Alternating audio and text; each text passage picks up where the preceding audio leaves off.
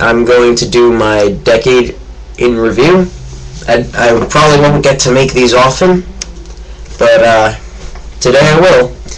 As the decade 2000 to 2009 comes to a close, I say goodbye to the first full decade of my life.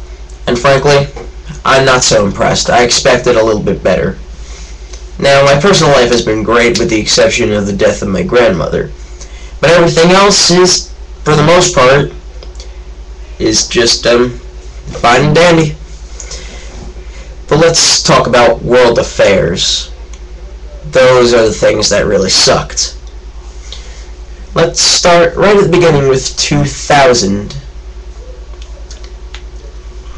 Now, during the 2000 election, Al Gore, sorry, Al Gore won but the popular vote by 2% and actually got more than 50% of the vote, which didn't happen for 12 years due to Ross Perot's candidacy. But anyway, he still lost the presidential election because I think the Secretary of State of Florida wanted to halt the recount and just have Bush win. And to this day, I think that Al Gore would have won if it weren't for a partisan decision. So I'm like, oh, that really sucks, but Bush might be fine too. Well, looked like everything might have been going dandy until the 9-11 attacks. Now, Bush is reading, like, let's just take this bio book for a second. You know, he was reading his bio book to the children. Mm-hmm. Well, it was actually like a fairy tale or something. And the guys say, Sir, you're under attack. But I gotta keep reading to them kids. So he just continues reading while 3,000 people die. And that's the story that the media tells you. But, uh, I don't know. It's, government's very shady.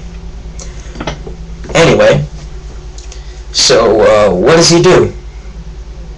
Instead of um, going after the countries where these attackers came from, such as our allies, Saudi Arabia and Egypt, he decides to, um, and this, I'm not saying this was a bad decision, but he decides to overthrow the Taliban in Afghanistan.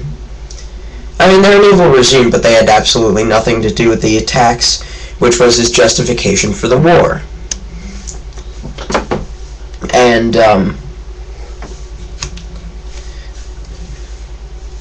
and then, in 2003, he got the entire country to approve of him starting a meaningless war at, under false pretenses. There were no weapons of mass destruction to be found, as he said. And and the only other objective was to get Saddam Hussein, who he blamed for 9/11, out of power, which he did.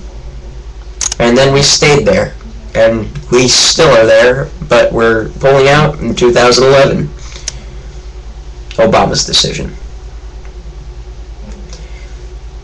So 2004 comes along, and um, yeah, by then I was a die-in-the-wool bleeding heart Democrat. I, I supported Kerry all the way. Not that I was too excited about him, but hey, he's got to be better than Bush. So you know I'm watching, and this time it's Ohio.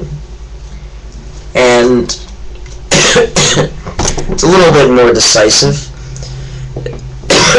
than the last election. But hey, I you never know. This both elections could have been rigged because this this guy had to be in office under false pretenses. I mean, look at him. A monkey could do better. So, Kerry loses, both in the popular and electoral votes, and goes back to being what he was, the senator of Massachusetts, serving with Ted Kennedy. so rather quickly, Bush's approval ratings drop. Like if the election were held about a month later, Bush would have lost. That's how bad it got. And uh, soon after, throughout his administration, he controlled House and Senate and the presidency. But then the House and Senate pretty much ceded control to the Democrats after the after they uh, had a realigning election, and then caused a two-year period of dysfunction with a with a very unnecessary bailout, and nothing got done at that point. And then Obama came along, and there's this whole debacle between him and Hillary, which, uh, in retrospect, Hillary would have caused a lot less trouble. But hey, Obama is cool too. So he wins the primaries. He goes up against John McCain. He decisively wins the charisma battle, and he wins the election with 53% of the popular vote, which is a lot. So I cried during his inaugural inaugural speech. That's how moved I was. That's how excited I was for change. But, uh, lo and behold,